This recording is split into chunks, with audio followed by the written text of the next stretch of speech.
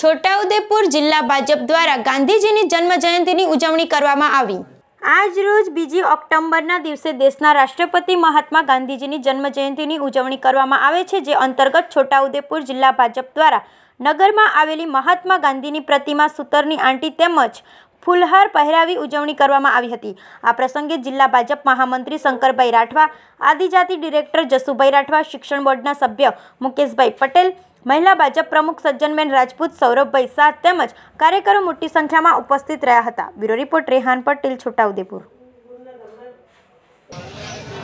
આજે બીજી ઓક્ટોબર મહાત્મા ગાંધીજીની આજે જન્મ જયંતિ મહાત્મા ગાંધીએ આ ભારત દેશને અંગ્રેજોની ગુલામીમાંથી બહાર લાવવા માટે, દેશને આઝાદ કરવા માટે એમને જે બીડું ઉપાડ્યું હતું, અહિંસક લડત આપી હતી અને તે વખતના જમાનામાં બેરિસ્ટર થયેલા અને એમને અનેક કડવા અનુભવ થયા.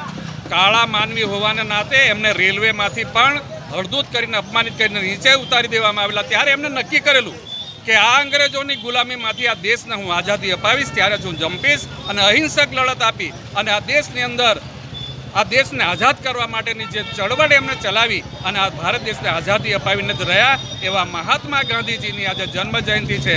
તે નિમિત્તે છોટાઉદેપુર નગરના, છોટાઉદેપુર તાલુકાના, છોટાઉદેપુર જિલ્લાના તમામ કાર્યકર્તાઓ, આગેવાનો, સૌ નગરજનો આજે એમને સત સત નમન કરી, એમને શ્રદ્ધાંજલિ અર્પે છે અને ગાંધી, મહાત્મા ગાંધીના જે કંઈક વિચારો હતા, આદર્શો હતા, એ આદર્શોને લઈને આપણું જીવન પણ એમાં વ્યતીત કરીએ એવી ખેવના આજની તારીખમાં રાખવામાં આવે અને તે નિમિત્તે મહાત્માજીને પુનઃ પુનઃ સત સત નમન કરીએ છીએ.